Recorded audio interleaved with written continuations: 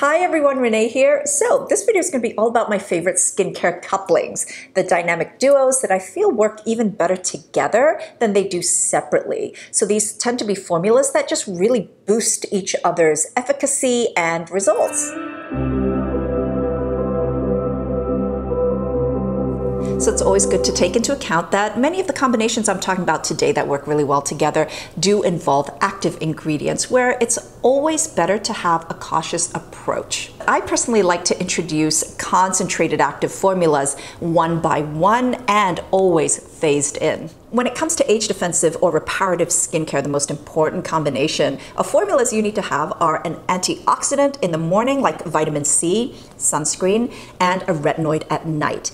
Everything else can be built around these three formulas to support them and to enhance their performance. Let's talk about retinoids, specifically the stronger, more concentrated retinols, adapalene, or prescription retinoids like tretinoin. These can cause many side effects for a lot of us, especially when we start using them. If you're someone with very sensitive skin and you always felt that maybe some of these stronger prescription retinoids were just off limits for you, a very underrated partner for these stronger retinoids that can really help in alleviating those side effects when you start off is azelaic acid. A good formula really helps with skin reactivity and redness. Prescription formulas that are known to work are usually 15 to 20%, and it will also help dial down your sensitivity in your skin over time. So pre-treating your skin over a period of time with azelaic acid will help your skin be more prepared and more tolerant to retinoids. I would definitely caution you not to start azelaic acid and retinoids at the same time because it can be really too strong. Azelaic acid also has to be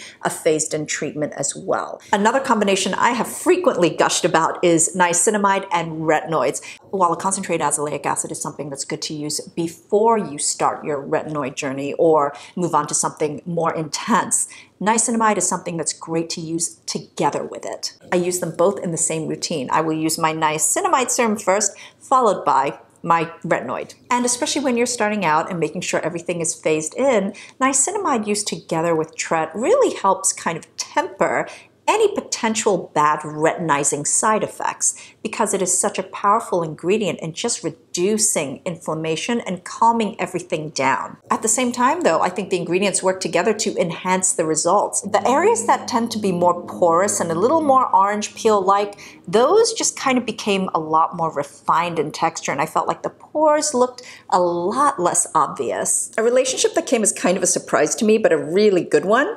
is LED and green tea. So a study came out, which I will link down below. It was linked in my LED video as well. But after exposing people for two months to extreme oxidative stress, cotton pads that were soaked with green tea were placed on the skin for 20 minutes a day. So it's kind of like a makeshift mask.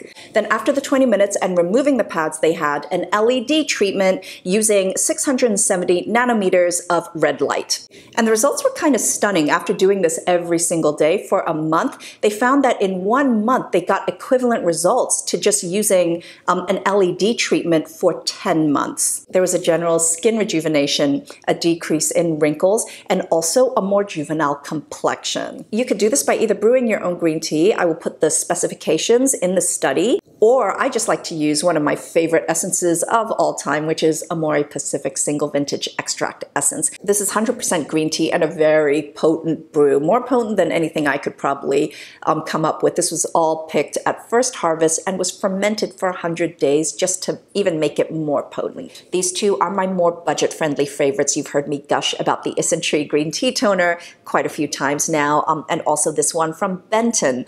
I did an Instagram post um, reviewing these toners, so I will link that down below. If you're familiar with my morning skincare routines, then you may have noticed that the theme, and this has always been the theme, is protection. Using antioxidants with sunscreen will give you more protection than just using sunscreen alone. In fact, there have been studies, particularly with L-ascorbic acid, vitamin C, that this can actually boost the protective effects of any sunscreen. The combination has also worked to be better at diminishing the signs of existing photo aging. For pigmentation, in particular erythema, just evening out the skin tone and just a brighter complexion, a very powerful combination is vitamin C and azelaic acid. L-ascorbic acid was a real game changer for me. It gave me a noticeably brighter complexion, but also the glow. Azelaic acid really levels up and enhances those results if you feel that you just need more. In fact, I would say this is a particularly effective combination for anyone who's going through a post-acne period. So if you're no longer breaking out, but you're just left with all those red acne marks, then this accelerates the fading of those marks. So I've had my fair amount of maskne, not just around my jaw, but also around like areas like my nose or anywhere that, where there are folds in my face. I will use my vitamin C and I will follow it with an azelaic acid treatment. But I actually spot treat. I don't put it all over my skin. I will use it on just the areas where I feel I've got a lot of that red scarring, which also happen to be the areas where I consistently break out. So azelaic acid is really good at even preventing those further breakouts from reoccurring if your skin can't tolerate L-ascorbic acid for whatever reason, or if your skin is just very, very sensitive, then another combination that works effectively is niacinamide and azelaic acid in the same routine. Especially if redness or sensitivity is an issue for you, or you have very reactive skin, then this combination is pretty unbeatable. I personally love this combination. I can tell you it works. In fact, uh, many of you know this was in my compounded tretinoin formula. So it was tretinoin, niacinamide, and um, azelaic acid together. I used that combination for about a year and a half and it really took my skin to another level. Dr. Sam's Brightly also combines 10% azelaic acid with 5% niacinamide, and this is a really effective formula too. A powerful combination for those with acne prone skin would be salicylic acid and azelaic acid. When used together, these can really help combat oncoming cycles from comedones all the way to more preventing more inflamed hormonal acne. Azelaic acid is not just anti-inflammatory, but it's also antibacterial, so it really helps to prevent acne bacteria from forming and escalating inflammation. Salicylic acid also has analgesic properties and is really good at getting into the pore and just keeping it congestion free, buildup free, so bacteria doesn't have anything to feed off of.